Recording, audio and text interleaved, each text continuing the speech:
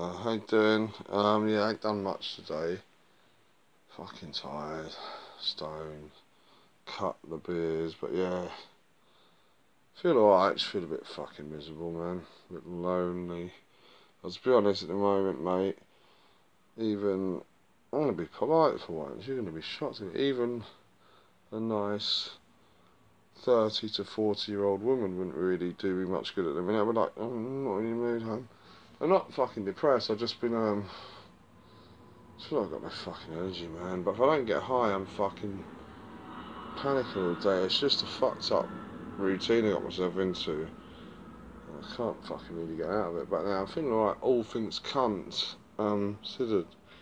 But yeah, I'll tell you, mate. Any old school fight fans, particularly when they've got everything on there, man.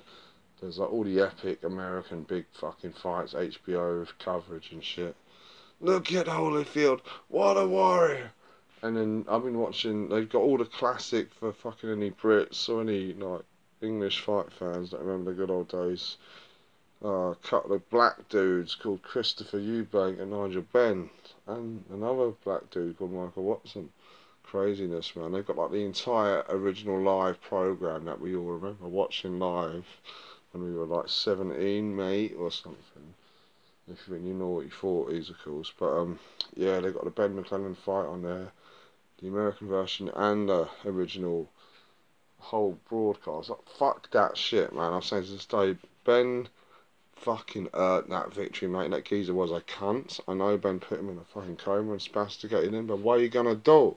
Shit happens. It's not a fucking sitting contest. The geezer wanted Benn dead. He tried to kill him in the first round.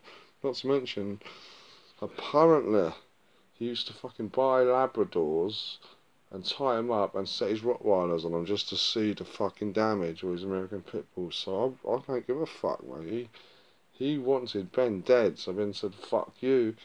What a fucking performance from Nigel Benn. He just, he, he didn't throw one jab, he loaded up with every single punch. Terrible boxer, you know I mean? On that particular night, he wasn't looking to box, he was just looking to fucking sling haymakers obviously hurt the geezer bad in the end, really bad. But it was accumulation. He took some fucking brutal shots.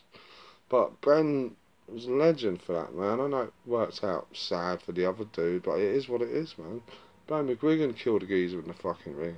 It happens. I mean, Ben McGuigan hit hard for a featherweight, but I mean? Featherweights don't normally kill people in the ring. And obviously, Ben McGuigan fucked him up, man. But you know what's crazy about the Eubank Watson thing? Amazing that second fight.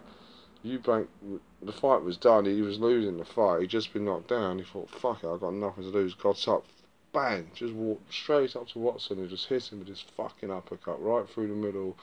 Watson didn't see it coming. Beautiful punch. Beautiful punch. Won him a fight. He was losing, and yet it's remembered for, oh yeah, but look what happened to Watson. I'm sorry, mate. You know what I mean? And Eubank but, it, I mean, you can't bitch about that shit. They know the fucking risks, man. And it, it takes away the victory of the warrior that fucking managed to fucking find a way to win. And that pisses me off. But yeah, Eubank, the, the really sad thing about Eubank Watson was that it didn't only end Watson's career, it basically fucked Eubanks because he, he was never the same after that, mate. I mean, he was like, maybe he was afraid of doing it to someone else or afraid of that happening to him, I don't know. But it fucked him up mentally. He, he, he never went in for the kill after that performance, and um, and it showed like he fought on with warriorness and shit, and still won a few fights. But yeah, he lost that killer instinct, which is understandable. But yeah.